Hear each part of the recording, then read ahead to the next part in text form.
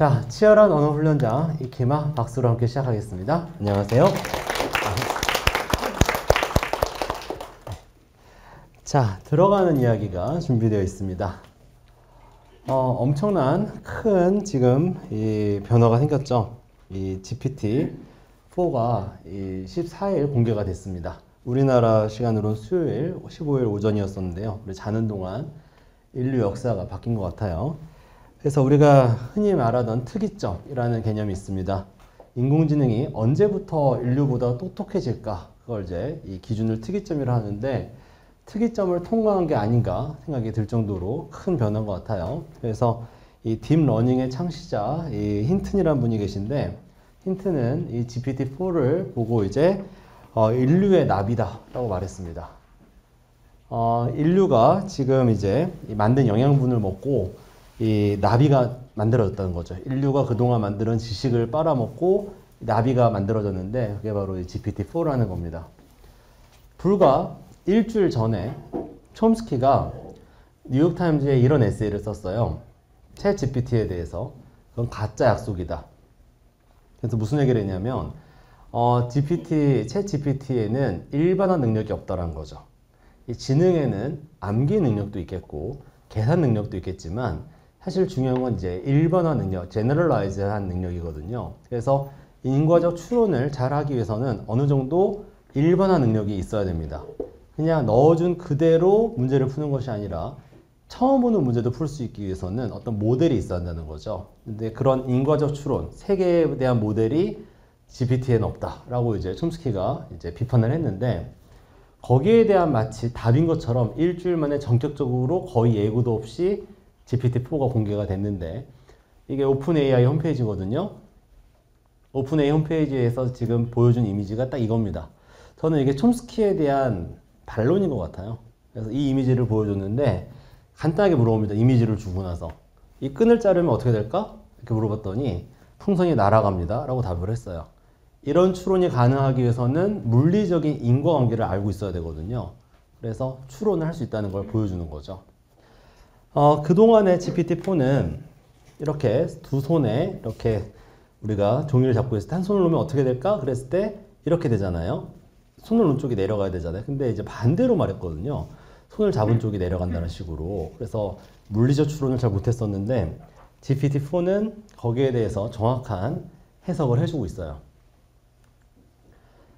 그러면 이제 뭘 할 수 있느냐? 일단 OpenAI에서 발표한 바에 따르면 인간이 보는 시험 성적이 많이 올라갔습니다. 그래서 human test, 인간들이 보는 시험을 이제 GPT한테 보게 해보니까 bar exam이라고 미국 변호사 시험인데 100분이 10점에서 90점으로 올라갔어요. 바이올로지 올림피아드 점수는 31점에서 99점으로 올라갔어요. 다시 말해서 상위 1%가 된 거죠. 수능도 해봤어요. 혹시 보셨나요, 보셨나요 뉴스? 네, 어제 SBS에서 해보셨던데 섭섭합니다. 저한테 연락하셨어야죠. 네, 인공지능과 수능 국어에 대한 얘기라면 제가 늘 하는 얘기인데 어, 그래서 화작을 풀게 했는데 상위 84%에서 17%, 100분위 점수로 84점에서 17점으로 올라갔습니다. 상위 점수니까 반대로 말해야겠네요. 네, 어쨌든 이제 이 점수로 친다면 원점수 기준으로는 44점에서 88점으로 등급으로는 7등급에서 3등급으로 올라갔습니다. 이제 이 한국 학생 80%보다 똑똑하다라고 말할 수 있는 거죠. 엄청난 발전이 있었습니다.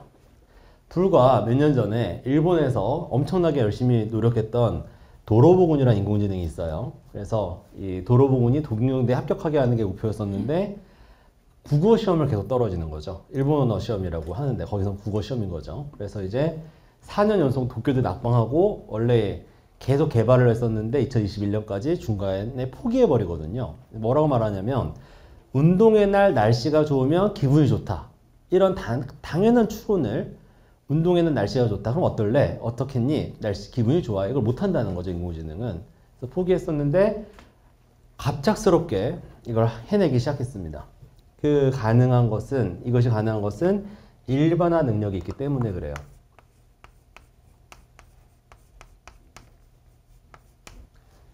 단순한 암기가 아닌 거죠. 그래서 저는 이제 여러분한테 이런 말씀을 드리고 싶어요.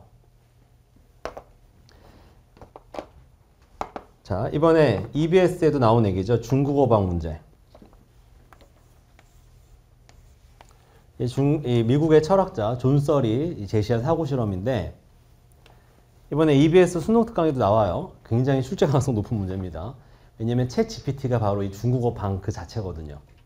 그래서 어떤 중국어를 모르는 사람이 방 안에 있다. 이 방을 임의적으로 이제 중국어 방이라 합니다. 차이니즈 룸이라 하는데 사람들이 이게 질문을 보내요. 카드의 형태로.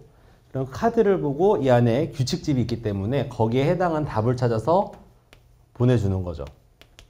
그래서 밖에서 보면 이 방 안에 중국어를 아는 사람이 있는 것처럼 보입니다.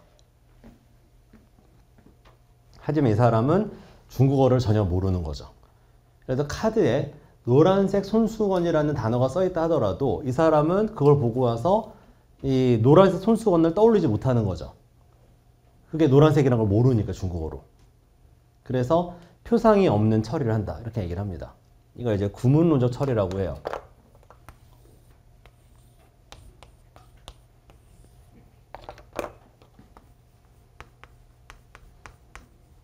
좀 전문 용어긴 한데 그냥 규칙대로 처리하는 것을 구문론적 처리라고 합니다. 드러난 언어만 보면 할 수 있는 거죠. 근데 그걸 가지고 수능 국어를 할 수 있느냐? 못합니다. 그래서 챗 GPT가 보여준 이 과거의 성적이 이 과거에 7등급이 나왔던 게 못한다는 걸 보여주는 거죠. 어떤 문제는 풀 수 있어요. 하지만 어떤 문제 못 푸는 거죠. 그래서 다 풀 수는 없어요. 어, 그래서 제가 이번에 LEET도 풀어봤습니다. 네. LEET를 9문제 풀어봤는데 9문제 중에서 8문제를 맞췄습니다. GPT-4가. 왜 9문제냐? 이 GPT-4를 하루에 100문제를 물어볼 수 있는데 제가 다 썼거든요. 그래서 이제 오늘 5시부터 다시 또 물어볼 수 있어요. 나머지 문제도 물어보겠습니다. 네. 어쨌든 이제 LEET 문제를 정말 잘 맞췄고 화법과 작문도 이제 제가 다시 물어봤는데 어, 문학을 잘하는 건 굉장히 인상적이었어요. 근데 이제 좀 구체적으로 이제 물어보니까 오답의 이유도 말해줘 하니까 잘못된 이유를 많이 말하더라고요. 아마 방송국에서 거기까지 테스트 안 했는데 왜 답을 맞췄는지까지 확인해 보면 답은 맞췄는데 틀린 경우도 많습니다. 이유는요. 그래도 어쨌든 인상 깊은 점수가 나왔어요. 근데 언어와 매체를 하지 않은 거는 혹시 이 잘했다 이래 뉴스가 나와서 그런 거 아닌가 싶어요. 언매를 풀어보게 해봤습니다. 이분들이 그것도 쉽게 할 수 있었을 텐데 언어는 어떻게 나왔을 것 같아요? 문법은 다섯 문제 중에서 다섯 문제 다 틀렸습니다. 한 문제도 못 맞췄어요. 사실 중세국어는 사실 입력, 입력 자체가 안 됐고요. 자, 그럼 이것이 의미하는 바는 무엇인가? 우리가 이제 앞으로 이 해야 되는 것에 대한 이야기입니다. 그러니까 문법은 암기란 얘기예요. 옛날에 LEET 볼 때도요. 수석들이 문법만 틀렸었어요. 그래서 옛날에도 이제 공부 잘하는 거랑 그러니까 일반하죠. LEET 시험 잘 본다는 거는. 이 문법 지식이랑 별 상관이 없다라고 말해가지고 하도 학생들이 반발이 심하니까 옛날에 문법 문제 중에 LEET에 1% 정답률 나온 거 있어요. 1%. 네. 이분들이 또 이제 사악한 악마 같은 분들이어가지고 이상한 문제를 낸 거예요. 꼬아가지고. 사실 거의 출제 오류 가까운 문제였었는데 그때 수석이 또 틀렸거든요. 그래서 인터뷰해버렸어요. 수석이. 저 문법만 틀렸어요. 이렇게. 근데 문법이 별로 이 법전원 들어가서 로스쿨 가서 공부하는데 도움이 안 되는 것 같아요. 라고. 그래가지고 폐지돼 버렸습니다. 다음에. 근데 이제 어, 문법 같은 경우에는 지금 글을 잘 낸 거랑 별 상관이 없다는 것이 간접적으로 증명이 된 셈입니다. GPT-4가 잘 못 푸니까요. 아, 참고로 어, 오픈AI 홈페이지에서는요. 챗 GPT와 GPT-4라고 구분하고 있어요. GPT-4도 챗 GPT다라고 말하고 있는데 우리나라 언론에서는 일단 브랜드 네임으로 구분하고 있습니다. 챗 GPT와 GPT-4라고. 근데 지금 우리나라 언론이 지금 가지고 있는 정보가 부족하다 보니까 이런 차이가 있다라는 말은 해주는데 왜 차이가 나는지를 설명을 못 해주고 있어요. 왜 차이가 날 것인가? 왜 차이가 나고 있는가? 그게 핵심입니다. 왜 차이가 나는가? 지금 오픈 AI도 옛날에 일론 머스크가 만들었을 때는 영리가 아니라 비영리라서 다 설명해 줬거든요. 이렇게 차이가 났다. 근데 요즘 다 따라하잖아요. 챗 GPT는 이제 거의 대중화됐습니다. 많은 후발 업체들이 나타났어요. 그래서 다 비슷비슷한 걸 만듭니다. 미국도 지금 브릿지 PT 만든다고 그러고 우리나라도 KGPT 만든다고 그러고 다 따라하고 있어요. 카카오에서 나왔고 지금. 그래서 3.5까지는 지금 스탠퍼드에서 공개 모델이 나와 버렸어요. 누구나 할 수 있게. 그러니까 이제 딱 멈춥니다. 이제 영업 비밀로 더 이상 안 가르쳐 줄 거야. 그래서 엄청난 지금 차이를 지금 보이고 있는 챗 GPT와 GPT-4가 있는데 그 차이가 뭐냐? 아, 그거를 물어보고 싶었다면 저한테 연락을 하셨어야죠. SBS한테 다시 한 번 말씀드립니다. 그 차이가 뭔지는 또는 도로보험과의 차이가 뭔지는 한마디로 말해가지고 지식 그래프의 차이라고 말할 수 있어요. 챗 GPT한테 물어봤습니다. 너 온톨로지 기반이니? 그랬더니 네. 온톨로지와 같은 지식 그래프 모델입니다. 온톨로지를 이제 구글에서는 지식 그래프라고 이제 부르거든요. 그래서 지식 그래프가 뭐니? 아, 내 고양이는 포유류다. 이런 거를 지식을 표현하는 방식입니다. 우리 포용 관계에 해당하는 거죠. 그래서 개체와 개체 간의 또는 개념과 개념 간의 관계를 나타내는 것. 개체 관계, 개념 관계. 이런 것들을 우리는 온톨로지 또는 지식 그래프라고 하는 거죠. 요즘 이거 이렇습니다. 그동안에는 이 암기를 하는 것들이 이제 기존의 방식이었다면 이제 일반화를 해줘야 됩니다. 일반화를 해주기 위해서는 지식 그래프, 다시 말해 표상이 필요한 거죠. 텍스트를 바탕으로 그래프를 만들어요. 아, 참고로 아까 힌튼 교수 얘기했었는데 딥러닝의 창시자 힌튼 교수의 지도 교수가 같이 논문을 쓴 딥러닝에 대한 이 루멜하트입니다. 루멜하트가 스키마 이론의 창시자입니다. 그래서 텍스트를 바탕으로 스키마를 만들어요. 표상을 만들어요. 그 다음에 그 스키마를 바탕으로 또는 표상을 바탕으로 이미지를 바탕으로 심적 이미지를 바탕으로 머릿속에 정신공간 속에 심적 이미지를 바탕으로 추론을 하게 되는 거죠. 텍스트로부터 바로 하게 되면 그걸 구문론적 해석이라고 합니다. 근데 스키마 표상을 거치고 하는 것은 우리가 의미론적 semantic한 해석이라고 합니다. 그래서 수능 국어는 의미론적 해석이 필요하다는 것이고 이번에 문학 문제를 GPT-4가 잘 푼 거는 긍정적이에요. 우리나라 문학 문제가 나쁘지 않다는 뜻입니다. 그러니까 GPT-4가 잘 풀면 이렇게 말할 수 있는 거예요. 다른 나라 시험들하고도 비교를 해보니까 그래서 시험의 타당도가 높다. 다시 말해서 괜찮은 시험이다. GPT-4가 잘 못 풀면 아 이거는 물어볼 만한 가치가 있는 건지 다시 한번 재고해 봐야 한다. 이렇게까지 말할 수 있는 거죠 이제. 그래서 앞으로 우리가 나아가야 될 길은 네, 일반화다라는 말씀을 드리고 싶어요. generalize, memorize가 아니라 일반화다. 이것도 이제 균열이 생긴 겁니다. 여기까지 와버렸어요. 인간과 기계를 나누는 선이라고 촘스키가 그었는데 아마 에세이 다시 쓰셔야 될 겁니다. 일반화 할 수 있게 됐거든요. 그래서 적어도 인구 80%가 하는 일반화까지 할 수 있다는 얘기예요. 이번에 애들이 틀린 문제를 보면 리트든 수능이든 어려운 문제만 틀렸어요. 오답률 1위, 2위 문제를 틀렸어요. 리트에서도 어려운 신호서열 문제 틀렸어요. 쉬운 문제는 다, 다 맞았고. 그래서 인간과 비슷한 모습을 보여줍니다. 틀리는 거에 있어서. 그 얘기는 표상화를 하고 있다는 뜻이에요. 그냥 하는 게 아니라 표상화를 거쳐서 하기 때문에 이렇게 된다. 이건 제 추정입니다. 아직 오픈에는 비밀이에요. 근데 이제 몇 달 기다려 보세요. 이제 사람들이 노, 열심히 지금 연구하고 있는데 이 흐름을 보면 이제 GPT-4의 비밀은 표상화라는 게 꼭 밝혀질 겁니다. 논문에서는 아주 애매하게 써놨어요. 뭐라고 써놨냐면 이 human 피드백 덕분에 발전했다 이렇게 써 있는데 인간의 피드백이 뭔지 애매하잖아요, 그렇죠? 근데 그게 이제 이 표상화 능력일 겁니다. 자, 그래서 다시 한번 결론을 말씀드릴게요. 이제 세상이 바뀌었다.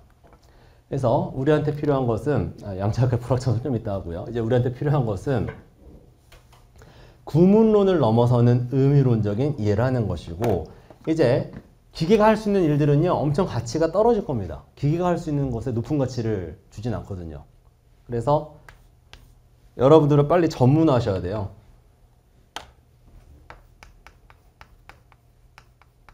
압력이 더 강해진 겁니다. 혁신에 대한 압력이. 그동안 우리가 제조업 국가였을 때는 그냥 암기하고 먹고 살아도 됐어요. 초등학교, 중학교 시절에 그냥 그 정도로. 근데 이제 기계가 일반화까지 할 수 있는 지능이 생긴 시대입니다. 일반 지능을 어느 정도 갖게 됐어요.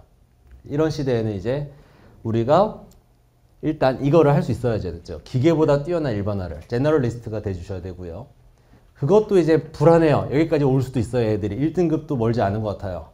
그러면 진입장벽 하나 또 만들어야 되거든요. 그게 바로 specialist로서의 진입장벽입니다. 아무리 인공지능이 발전하더라도 결국 의사나 변호사 같은 전문직들이 할 수 있는 일이 또 따로 있거든요. 인공지능이 법정에 나가서 변호할 수 없잖아요. 인공지능이 수술할 수 없잖아요. 직접. 그래서 결국에는 마지막에는 이제 인간이 해야 되는 일들이 남아 있습니다.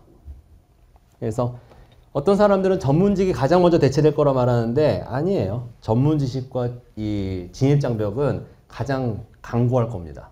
그래서 여러분들은 빨리 generalist가 되시고 그 후에 specialist가 되셔야 합니다. 꼭 의사 변호사가 돼야 한다는 뜻은 아니고 예를 들어서 그렇다는 거예요. 전문적인 지식을 가진 그런 영역을 뭐 자격증이든 면허든 그런 것을 갖추는 것이 지금 제가 봤을 때는 우리에게 주어진 일인 것 같습니다. 공부하는 방법도 전혀 달라요. 이 둘은. 암기를 잘하고 싶다. 어떻게 되는지 아세요?